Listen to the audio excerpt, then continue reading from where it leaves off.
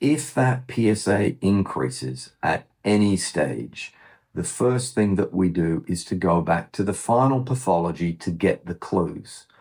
Do we think that guy is at risk of local recurrence or do we think he's at risk of disseminated recurrence? That is key because it directs us, it directs our management. If we think someone has local recurrence, i.e., a cancer cell in the area of where their prostate used to be, we then have a discussion about salvage radiotherapy. Now, that man, if he experiences a single change in his PSA, does not require immediate radiotherapy. We do have time.